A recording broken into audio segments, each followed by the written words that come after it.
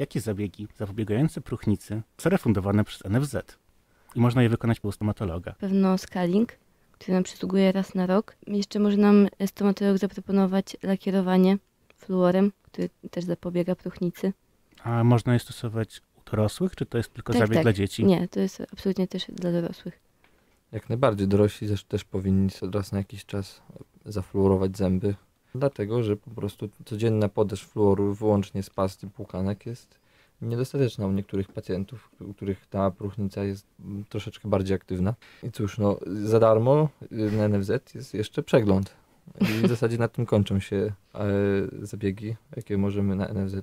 Jeszcze gwoli uściślenia, właśnie scaling jest tym czyszczeniem kamienia, ale też nie patrzmy pod tym kątem, że czyszczenie zawiera piaskowanie, bo pacjenci często uważają, że czyszczenie to jest scaling i piaskowanie.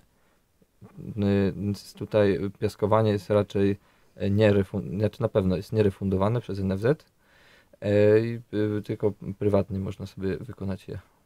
Na niektórych specyficznych forach internetowych można przeczytać, że fluor jest szkodliwy. Nie, Czy absolutnie. fluoryzowanie u dentysty nie spowoduje żadnych uszkodzeń mojego mózgu? Fluor, który jest podawany u stomatologa czy w pastach, jest w tak małych ilościach, że nie ma opcji w ogóle, że się człowiek zatruje fluorem. Więc to są raczej bzdury.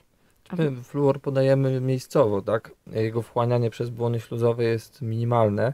Tak naprawdę to, żeby jakiekolwiek udowodnione naukowo oczywiście złe skutki fluoru musiały, żeby wystąpiły u człowieka, człowiek musiałby chyba zjeść sobie ze dwie tubki pasty do takiej o nie najmniejszym stężeniu tego fluoru, a y, takie powiedzmy sobie otwarcie bzdury typu wysycanie szyszynki wapniem przez to, że fluor jest podawany w pastach czy w wodzie pitnej, to są, y, to są bzdury, dlatego że takie, jeżeli mówimy o złych skutkach działania fluoru, to są albo ostre zatrucie fluorem, no, które jest dosyć widoczne, raczej y, da się zauważyć, że ktoś na przykład y, wymiotuje, czy, czy, boli go głowa, czy, czy szereg innych skutków, a, a są też objawy takiego mniejszego powiedzmy zatrucia fluorem, który nazywa się fluorozą, aczkolwiek to jesteśmy w stanie zaobserwować tylko u dzieci do 12 roku życia. Jeżeli po 12 roku życia już tak jakby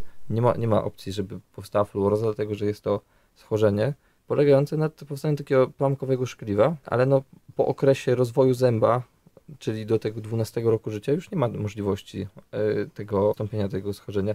Nie podajemy pacjentom e, wewnętrznie fluoru, więc nic się takiego nie dzieje.